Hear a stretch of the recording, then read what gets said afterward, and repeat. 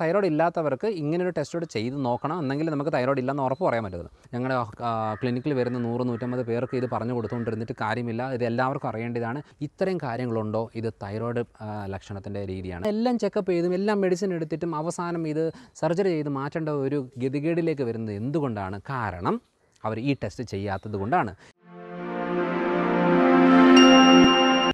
Hello everyone am doctor Manoj Johnson lifestyle മെഡിസിനിലേക്ക് സ്വാഗതം. ഇന്ന് നമ്മൾ ഡിസ്കസ് ചെയ്യാൻ പോകുന്നത് ഒത്തിരിയേറെ ആളുകൾ പറയാറുണ്ട് ഈ തൈറോയിഡിന്റെ പ്രശ്നത്തെക്കുറിച്ച്. കാരണം തൈറോയിഡ് എന്ന് പറയുമ്പോൾ നമ്മൾ സാധാരണ എല്ലാവർക്കും അറിയാവുന്നത് ഹൈപ്പോ തൈറോയിഡിസം ഹൈപ്പർ തൈറോയിഡിസം ചിലർ പറയാറില്ല എനിക്ക് ഹൈപ്പോയാണ് എന്ന് പറയാറുണ്ട്. കാരണം എന്താണ് ഇതിന്റെ ലക്ഷണം? പക്ഷേ നേരായിട്ട് നമുക്ക് ഏതൊക്കെ ടെസ്റ്റുകളാണ് ഇതിന് ചെയ്യേണ്ടത്? കാരണം എന്താ പറയുക ഭൂരിഭാഗം തൈറോയിഡ് കണ്ടീഷനിലും അവർ പ്രോപ്പറായിട്ട് മെഡിസിൻസ് എടുക്കാറുണ്ട്. പ്രോപ്പറായിട്ട് ഡയറ്റും കാര്യങ്ങളും ശ്രദ്ധിക്കാറുണ്ട്. പ്രോപ്പറായിട്ട് എക്സസൈസുകൾ ചെയ്യാറുണ്ട്. അതേപോലെ പ്രോപ്പറായിട്ട് ബ്ലഡ് ടെസ്റ്റുകൾ ഫുഡ് കാര്യങ്ങളെല്ലാം ക്ലിയറായിട്ട് നോക്കാറുണ്ട്. ഒരു കുഴപ്പങ്ങളില്ല. പക്ഷേ എന്തുകൊണ്ടാണ് എന്നിട്ടും ഈ തൈറോയിഡിന്റെ എല്ലാ പ്രശ്നങ്ങളും അവർക്ക് വരുന്നത്? ശ്രദ്ധിച്ച് നോക്കിയിട്ടുണ്ടോ? തൊണ്ണൂറ് ശതമാനം ആളുകൾക്കും തൈറോയിഡിന് മരുന്ന് എടുക്കുന്നവർക്ക് എല്ലാ തൈറോയിഡ് പ്രശ്നങ്ങളും ഉണ്ട്. എന്തൊക്കെയാണ് തൈറോയിഡ് പ്രശ്നം എന്നല്ലേ? ഓക്കെ ഒന്നൊന്ന് ഒന്ന് ആലോചിച്ച് നോക്കിയാൽ മതി. അതായത് നമ്മൾ സാധാരണ നോർമലായിട്ടുള്ള ശരീര പ്രകൃതി പ്രകൃതമുള്ളവരിൽ നിന്നും കുറച്ചുകൂടെ വണ്ണം വെച്ച് വരുന്ന രീതികൾ. അതായത് ഇപ്പം സ്ത്രീകൾക്കാണ് ഏറ്റവും കൂടുതൽ ഈ തൈറോയ്ഡ് പ്രശ്നങ്ങൾ ഉണ്ടാകുന്നത്. കാരണം ഹോർമോണൽ വേരിയേഷൻസ് ഏറ്റവും കൂടുതൽ നടക്കുന്ന സ്ത്രീകളുടെ ശരീരത്തിലാണ്.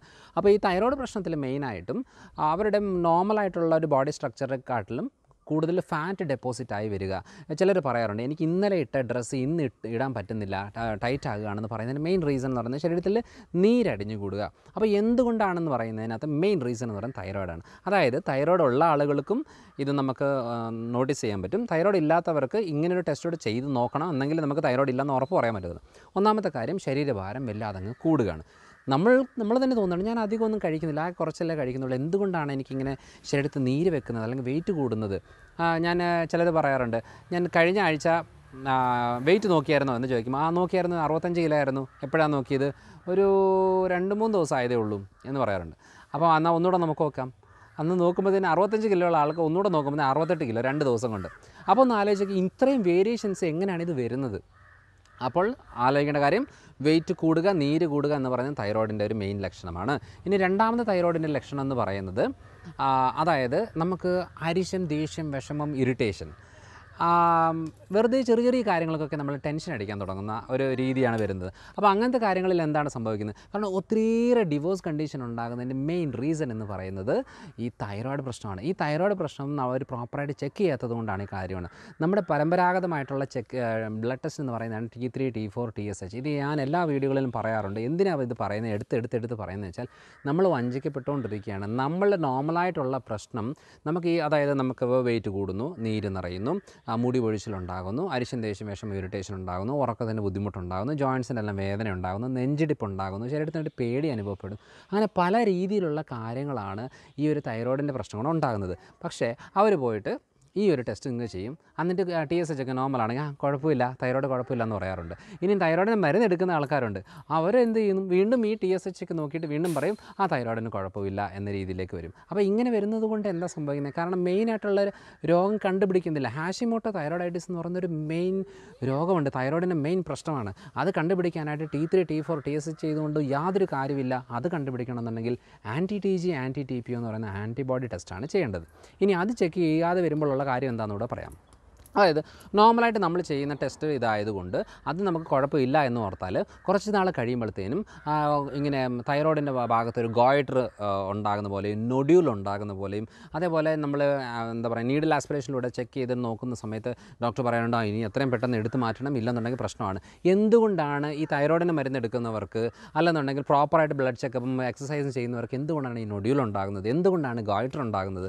കാരണം എല്ലാം ചെക്കപ്പ് ചെയ്തും എല്ലാം മെഡിസിൻ എടുത്തിട്ടും അവസാനം ഇത് സർജറി ചെയ്ത് മാറ്റേണ്ട ഒരു ഗതികേടിലേക്ക് വരുന്നത് എന്തുകൊണ്ടാണ്? കാരണം അവർ ഈ ടെസ്റ്റ് ചെയ്യാത്തത് കൊണ്ടാണ്. ഈ ടെസ്റ്റ് ചെയ്ത് നേരത്തെ ചെയ്ത് മനസ്സിലാക്കി കഴിഞ്ഞാൽ അന്നേരം ഓർത്തോണം. അത് കൂടുതലുണ്ടെങ്കിൽ ഹൺഡ്രഡ് പെർസെന്റ് അവർക്ക് നൊഡ്യൂൾസും വീക്കവും അതായത് തൈറോയിഡിന്റെ ഗ്രന്ഥിയുടെ വീക്കം ഉണ്ടാകും. അതേപോലെ സ്വരത്തിന്റെ ചേഞ്ചസ് ഉണ്ടാകും.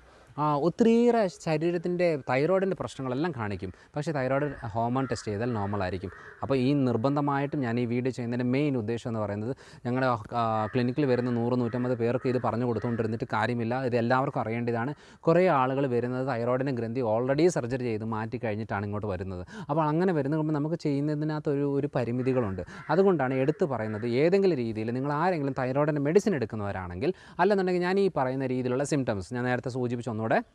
പറഞ്ഞേക്കാം. അതായത് വെയിറ്റ് കൂടുന്നു നീര് നിറയുന്നു അതേപോലെ മുടി പൊഴിച്ചിലുണ്ടാകുന്നു അരിശം ദേഷ്യം വിഷമം ഇറിറ്റേഷൻ ഉണ്ടാകുന്നു ടെൻഷൻ ലെവൽ കൂടുന്നു ഉറക്കത്തിന് ബുദ്ധിമുട്ടുണ്ടാകുന്നു ജോയിന്റുകൾക്കെല്ലാം വേദനയാണ് മസിൽസിനെല്ലാം വേദനയാണ് ഒന്നിനോടും ഒരു താല്പര്യമില്ല ഉന്മേഷമില്ല. ഇത്രയും കാര്യങ്ങളുണ്ടോ? ഇത് തൈറോയ്ഡ് ലക്ഷണത്തിന്റെ രീതിയാണ്. അതുകൊണ്ട് നമ്മൾ ചെക്ക് ചെയ്യേണ്ടത് T three T four T S H മാത്രമല്ല അത് ചെക്ക് ചെയ്യണം. അതിന്റെ കൂടെ anti T G anti T P എന്ന് പറയുന്ന ടെസ്റ്റ് കൂടെ ചെയ്തെങ്കിൽ നമുക്ക് ക്ലിയർ ആയിട്ടുള്ളത് മനസ്സിലാവും. എല്ലാ വശത്തു നിന്നും നമ്മൾ നോക്കിയിട്ട് ഒരു കുഴപ്പവും ഇല്ലെങ്കിൽ ഇല്ല ഉണ്ടെങ്കിൽ അതിനനുസരിച്ചുള്ള കാര്യം ചെയ്യേണ്ടി വരുന്നതാണ്. അപ്പോൾ എന്താണ് ഈ രോഗത്തിന്റെ പേര് എന്ന് പറഞ്ഞാൽ ഹാഷിമോട്ടോ തൈറോയിഡൈറ്റീസ് എന്നാണ് ഇതിന് പറയുന്നത്. ഇത് തൈറോയിഡൈറ്റീസ് എന്ന് പറയുന്നത് നമ്മൾ സൈനസൈറ്റിസ് ടോൺസിലൈറ്റിസ് എന്നൊക്കെ പറയുന്ന പോലെ തന്നെ തൈറോയിഡൈറ്റീസ് ഇൻഫ്ലമേഷനാണ് തൈറോയിഡിന്റെ ഭാഗത്ത് ഇൻഫ്ലമേഷൻ കൊണ്ട് എന്തുകൊണ്ടാണ് ഇത് ഉണ്ടാകുന്നതെന്ന് പറഞ്ഞാൽ പ്രോപ്പറായിട്ടുള്ള പോഷകങ്ങളുടെ കുറവ് കൊണ്ട് എന്തൊക്കെ പോഷകം എന്ന് പറഞ്ഞാൽ സിങ്ക് സെലേനിയം അയോഡിൻ എന്ന് പറയുന്ന മൂന്ന് പോഷകങ്ങളാണ് ഇതിനകത്ത് മെയിനായിട്ട് ആവശ്യമുള്ളത്. അപ്പോൾ ഇതിന്റെ കുറവ് വരുമ്പോഴാണ് ഇത് പ്രശ്നങ്ങൾ കൂടുന്നത്. അതുകൊണ്ട് എന്നാ ചെയ്യണമെന്ന് പറഞ്ഞാൽ ഇപ്പോൾ നമ്മൾ മെഡിസിൻ കൊടുക്കുകയാണെങ്കിൽ നമ്മൾ ഈ സിങ്ക് സെലേനിയം അയോഡിന്റെ കോമ്പിനേഷനിൽ നമ്മൾ കുറച്ച് കൂടുതൽ ഹൈ ഡോസേജിൽ കൊടുക്കുമ്പോഴത്തേനും ആ പ്രശ്നങ്ങൾ ക്ലിയർ ആകാറുണ്ട് ഒത്തിരിയേറെ ആളുകൾ പറയുന്നത് ഞാൻ പത്ത് കൊല്ലമായിട്ട് തൈറോയിഡിന് മരുന്ന് എടുക്കുകയാണ് എനിക്ക് എല്ലാ പ്രശ്നങ്ങളും ഉണ്ട്. ഒരു പ്രശ്നത്തിന് എനിക്ക് യാതൊരു ഉപയോഗവും കിട്ടിയിട്ടില്ല. അപ്പോൾ നമ്മൾ ഈ ഒരു കോമ്പിനേഷനിലൂടെ കൊടുക്കുമ്പോഴത്തേനും പെട്ടെന്ന് അവർക്ക് പറയണം ഓ ഇപ്പോഴാണ് സത്യം പറഞ്ഞ് ഞാൻ റിലീഫായത്. എനിക്കൊന്ന് പെയിൻ റിലീഫായത്. അല്ലെങ്കിൽ ഉറ ഞാൻ കറക്റ്റായിട്ടൊന്ന് ഉറങ്ങുന്നുണ്ട്. എന്റെ വെയിറ്റൊക്കെ ഒന്ന് കുറയുന്നുണ്ട്. മുടി പൊഴിച്ചിൽ വല്ലാതെ മുടി പൊഴിച്ചിലായിരുന്നു ഇപ്പോൾ എല്ലാം കുറഞ്ഞു വരുന്നുണ്ട്. എന്തിനാണ് പറയുന്നതെന്ന് വെച്ചാൽ ഈ പോഷകങ്ങൾ സപ്ലൈ ചെയ്യുമ്പോഴാണ്. അപ്പോൾ നമ്മൾ അതിനുള്ള പ്രോപ്പറായിട്ടുള്ള മെഡിസിൻസ് എടുക്കേണ്ടി വരും. ഇനി അതിന്റെ എക്സ്ട്രീമായിട്ട് പോകുമ്പോൾ നമ്മൾ അയോഡിൻ റേഡിയേഷൻ കാര്യങ്ങളൊക്കെ ആയിട്ട് പോകേണ്ടി വരും. ഇനി അതിന്റെ എക്സ്ട്രീമായിട്ട് ആയിട്ട് വരുമ്പോഴത്തേനും ചില ആളുകൾക്ക് നമ്മളിപ്പോൾ ക്യാൻസറസ് ആയിട്ടുള്ള ഗ്രോത്ത് കാര്യങ്ങൾ ഉണ്ടെങ്കിൽ ഈ ടെസ്റ്റ് ചെയ്യുമ്പോൾ നമുക്ക് നേരത്തെ മനസ്സിലാവും ഇങ്ങനെ ഒരു ചേഞ്ചസ് വരുന്നു എന്നുള്ളത്.